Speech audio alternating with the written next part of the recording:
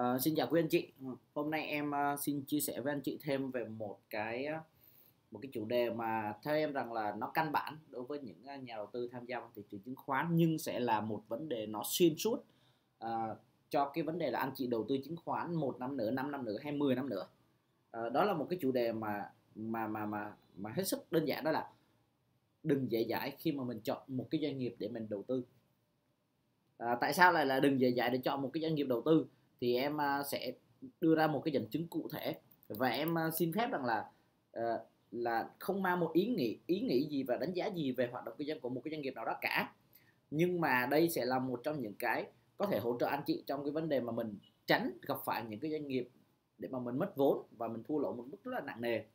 Thì trải qua cũng hơn 15 năm hình thành và phát triển của thị trường chứng khoán cũng có những giai đoạn thăng trầm cũng có những giai đoạn à, đầu tư hiệu uh, đầu tư tốt cũng như là những giai đoạn uh, giảm sâu. À, nhưng dần dần thì một cái doanh nghiệp nào đó ổn định và một cái doanh nghiệp nào đó tăng trưởng thì à, sẽ song hành với lại nhà đầu tư và giúp nhà đầu tư mang lại một cái hiệu quả à, tốt.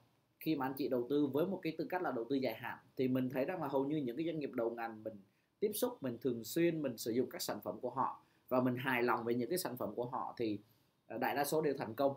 Ờ, ở trên thị trường chứng khoán nói nói riêng và ở thị trường tài chính cũng như nền kinh tế nói chung và đây là những cái doanh nghiệp mà theo em rằng là là mình sẽ sẽ là những doanh nghiệp có thể giúp cho anh chị uh, có một cái vị thế đầu tư tốt hơn có một cái lợi nhuận tốt hơn khi mà mình đầu tư vào thị trường chứng khoán ở 2018, 2019 và thậm chí 5 đến 10 năm nữa.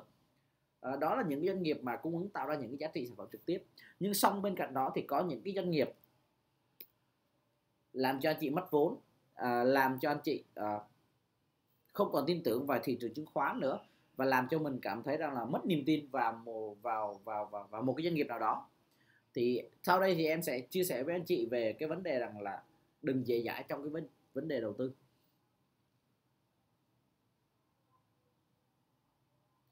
Đừng dễ dãi trong cái trong trong các vấn đề về đầu tư. À, chúng ta có thể rằng là chọn một cái doanh nghiệp nào đó mà tăng trưởng thấp. À, chúng ta có thể chọn những cái doanh nghiệp nào đó mà cái mức uh, giá cổ phiếu nó biến động ít. Và chúng ta có thể chọn những cái doanh nghiệp nào đó mà cái cái cái cái thanh khoản của nó cao. Nhưng chúng ta nhưng nhưng có một điều chúng ta ờ, hết sức lưu ý rằng là có một vài cái yếu tố có thể hoàn toàn có thể dễ nhận biết để anh chị có thể đầu tư. Cái thứ nhất là lịch sử hình thành và phát triển của doanh nghiệp đó. Thì anh chị thực sự ờ, để mà để mà để mà đầu tư vào một cái thị trường tài chính nơi mà mình thực sự không phải là người chuyên nghiệp và mình không phải là người nắm rõ hết tất cả mọi thứ thì hãy tìm những cái doanh nghiệp nào đó mà đã tồn tại ở trên thị trường tài chính này ở những thời kỳ ban đầu tồn tại ở trong ở trong một cái thị trường sơ khai cái lúc mà thị trường nó đang mới phát triển. Và dần dần thì hiện tại khi mà thị trường nó đã tốt hơn đã được nhiều nhà đầu tư hơn thì à, những doanh nghiệp đó là những doanh nghiệp song hành cùng với thị trường và tăng trưởng tốt cùng thị trường. Đây gọi là cái lịch sử uh, về giá cổ phiếu. Anh chị có thể lên cà phê F uh, ờ, và mình sẽ đi tìm hiểu lịch sử. À, cái thứ hai là lịch sử hình thành lịch sử phát triển thì không thể nào không gắn được với lại lịch sử chi trả cổ tức. À, chi trả cổ tức ở đây đó là những cái những cái lợi nhuận của doanh nghiệp họ sẽ trả lại cho nhà đầu tư. Coi như đây là một khoản để mà mà mà chia cho những cái sự đóng góp của nhà đầu tư vào cái doanh nghiệp đó và lịch sử trả cổ tức thì mình phải phải phải phải xác định được là đây là những cái doanh nghiệp mà trả cổ tức ổn định hàng năm. Có thể là là năm nay trả cổ tức 15% 20% có những năm trả 40% nhưng mà cái tính ổn định của nó sẽ được thể hiện ngay ban đầu ở cái vấn đề rằng là doanh nghiệp tạo ra tiền và họ sử dụng tiền đó một phần họ sẽ giữ lại để để tăng trưởng về cái quy mô hoạt động kinh doanh phát triển sản phẩm mới. Một phần họ sẽ trả cho à, nhà, đầu tư các cổ đông.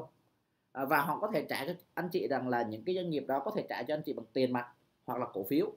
Nhưng cái tỷ lệ đó nó luôn luôn phải là hấp dẫn và cao hơn uh, so với mặt bằng chung cũng như rằng là nó nó đều đặn hơn nó ổn định. Anh chị có thể hoàn toàn uh, tìm kiếm ở trên đây hoàn toàn. Uh, đây đây chỉ là những cái thống kê sơ bộ. Uh, thứ nhất đó là về cái lịch sử hình thành và phát triển của doanh nghiệp à, cái thứ hai đó là cái lịch sử chi trả cổ tức từ thời điểm niêm yết. Thì anh chị hoàn toàn có thể thấy là năm nào hầu như doanh nghiệp tốt này như này thì năm nào cũng sẽ trả cho anh chị một cái mức lợi nhuận một cái mức lợi tức. Và có thể rằng là cái mức lợi tức này ngang so với lãi suất ngân hàng cao hơn so với lãi suất ngân hàng và vượt trội hơn so với lãi suất ngân hàng. À, cái thứ hai đó là về cái cái cơ cấu cổ đông. Cơ cấu cổ đông đây là một cái rất là quan trọng trong cái cái cái cái quá trình mà anh chị đầu tư à, thực sự mình đầu tư vào một cái doanh nghiệp nào đó mình chỉ là một nhà đầu tư cá nhân. Và một mình chiếm một cái tỷ lệ rất nhỏ trong cái trong cái chuỗi quy mô của doanh nghiệp đó. Mình chỉ chiếm 0.0001 phần trăm cái số lượng cổ phiếu thôi cái tỷ lệ phần trăm đó thôi. Cho nên cái tiếng nói của mình để mà đưa ra được một cái quyết định nào đó về hoạt động kinh doanh của doanh nghiệp gần như là không thể. Thế thì có một cái bài toán đó là mình sẽ là người nhà đầu tư và mình sẽ là cổ đông của doanh nghiệp đó cùng với lại các quỹ đầu tư tài chính cùng với lại các nhà đầu tư tài chính cũng như là cùng với các tổ chức tài chính nước ngoài. Họ sẽ là những người có trình độ khi họ đầu tư một cái số tiền lớn. Em ví dụ như là FPT đi à, có rất là nhiều quỹ đầu tư tham gia vào uh, như là quỹ Red River Holding này, Government of Singapore này. Đó là những cái quỹ đầu tư mà họ đầu tư vào một cái doanh nghiệp với một cái tỷ lệ lớn với một cái số tiền lớn thì rõ ràng là họ là những người hiểu được cái doanh nghiệp đó hơn mình. Họ là những người tìm kiếm được những cái cơ hội trong cái cổ phiếu đó tốt hơn mình và họ sẽ là những người có tiếng nói hơn mình. Thì thì khi mà cái cái miếng bánh của một của cái cái của của cái doanh nghiệp đó mà nó nó nó chia đều ra thì cái tính minh bạch của doanh nghiệp nó tốt hơn cái tính fair của nó tốt hơn và và và những cái lợi ích của những cái cổ đông cá nhân như mình sẽ được đảm bảo hơn. Dựa vào những cái tiếng nói của những cái cổ đông lớn những cái tổ chức lớn những cái quỹ tài chính lớn. À, thì anh chị có thể thấy rằng là mình nên chọn những cái doanh nghiệp nào mà có cái có cái mức độ phần trăm tỷ lệ này nó ngang ngang nhau. Có nghĩa là không có một ai có thể chiếm chiếm hết doanh nghiệp đó được. Không có một ai có thể đưa ra một tự động đưa ra một cái một cái một cái một cái chính sách nào đó cho cái doanh nghiệp đó được. Mà nó phải dựa vào hoàn toàn vào rất là nhiều về cái uh, các tổ chức tài chính cũng như là các đầu, nhà đầu tư những người góp vốn để đưa ra được một cái chính sách nào đó. Như vậy thì chúng ta sẽ đảm bảo hơn. Anh chị hoàn toàn có thể lược uh, lược thấy rất là nhiều. Các doanh nghiệp ờ, uh, liên niêm yết lên sàn lâu đời á thì cái cơ cấu cổ đông của doanh nghiệp nó sẽ rất là rất là tốt rất là đa dạng.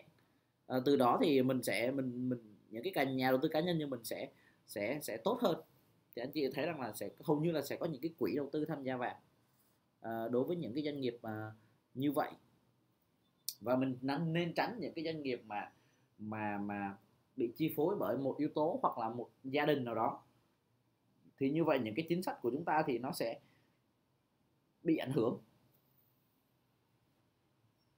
à, cái thứ cái thứ ba nữa đó chính là những cái vấn đề về tài chính uh, của doanh nghiệp. Và chúng ta thì thì sẽ sẽ có thể em thì sẽ có những cái những cái công cụ riêng để mà em có thể phân tích được. Nhưng mà à, cái bài phân tích cái bài và bài bài thảo luận này thì em sẽ trao đổi nhiều hơn về cái vấn đề những cái nhìn cơ bản. Thì mình phải nhìn thấy được là những cái đơn giản nhất của một cái doanh nghiệp uh, trong những năm gần đây. Đó có thể rằng anh anh chị hãy hãy hãy hãy đi tìm những cái sự tạo sự sự ảnh hưởng ờ, những cái sự lớn lên của doanh nghiệp thông qua những cái hình thức như là doanh thu, lợi nhuận tài chính, lợi nhuận trước thuế và lợi nhuận sau thuế. Đây là những cái chỉ số cơ bản của doanh nghiệp. Tất nhiên rằng là mình không thể nào mà mình đánh giá cái tiềm năng của doanh nghiệp trong tương lai dựa vào những cái con số trong quá khứ. Nhưng mà những con số trong quá khứ được hình thành đến 10 đến 15 năm thì rõ ràng nó có hoàn toàn có ý nghĩa.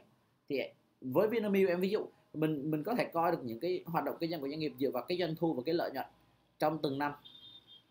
Và chúng ta thấy rằng là họ đang tăng trưởng họ đang tăng trưởng lên, dần lên rất là lớn. Từ 6.000 tỷ năm 2006 năm đến năm 2010 17 con số này đã lên 51.000 tỷ. Và chúng ta thấy rằng là nó tăng rất là từ từ, tăng rất đều.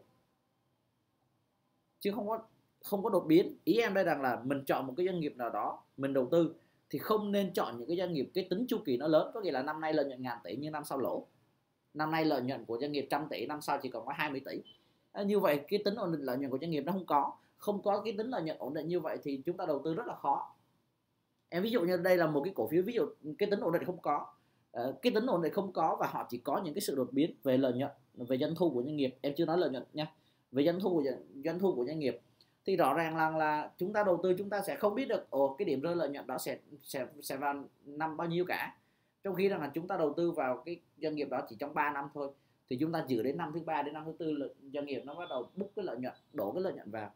Thì rõ ràng là rất là khó để chúng ta chọn những cái doanh nghiệp như vậy được. Thay vì vậy chúng ta nên chọn những cái doanh nghiệp mà nó ổn định nó tăng trưởng nhưng mà tăng trưởng ổn định. Tăng trưởng ổn định thể hiện thông qua doanh thu lợi nhuận của doanh nghiệp. Thì đó là lý do tại sao mà các quỹ đầu tư họ tham gia. À, tất nhiên rằng là để mà dựa vào những con số trong quá khứ để mà dự phóng ra tương lai thì nó còn nhiều yếu tố nhưng đây là những cái yếu tố cơ bản nhất để mà chúng ta có thể tránh chọn những cái doanh nghiệp mang tính sai lầm. À, thì tổng kết lại thì là ở đây thì em thấy có ba cái ba yếu tố cơ bản nhất để mà mình có thể xem xét. À, thứ nhất là mình dựa vào cái lịch sử hình thành của doanh nghiệp. À, cái giá trị sản phẩm của doanh nghiệp mang lại cho xã hội là gì? Và chúng ta là những người tiêu dùng chúng ta có sử dụng những cái sản phẩm của doanh nghiệp đó hay không?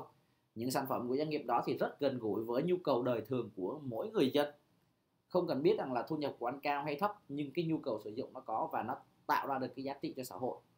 À, cái thứ hai đó là lịch sử hình thành và phát triển của doanh nghiệp. À, những doanh nghiệp mà tốt những doanh nghiệp mà chúng ta có thể đầu tư thì phải thường thường là những doanh nghiệp à, đã hình thành lâu đời 10 20 30 năm và có cái cái lịch sử lên sàn cũng ờ, 5 đến 10 năm. Có thể là những doanh nghiệp lớn hơn như Vinamilk FPT thì khoảng 15 năm. Lịch sử chi trả cổ tức ổn định qua các năm không cần đột biến không cần cao hơn thấp hơn nhưng nó phải thể ổn định. Nó thể hiện cái sự ổn định của doanh nghiệp thể hiện cái sự lợi nhuận tốt của doanh nghiệp. À, cái thứ thứ thứ thứ thứ tư đó là cái cơ cấu cổ đông phải đa dạng và đặc biệt là phải có được các tổ chức tài chính tham gia vào. À, chỉ có như vậy thì cái tiếng nói cũng như là cái quyền lợi của nhà đầu tư cá nhân như chúng ta mới được đảm bảo. À, và cái thứ năm đó là cái lịch sử cái lịch sử về doanh thu về lợi nhuận về về chi phí về nói chung là nhiều thứ về tài chính thì nó cần sự tăng trưởng. Nhưng không cần sự tăng trưởng nóng đột biến chu kỳ. Nó cần một sự tăng trưởng ổn định tăng trưởng đều. Và lịch sử này thì tăng trưởng năm 10 15 năm.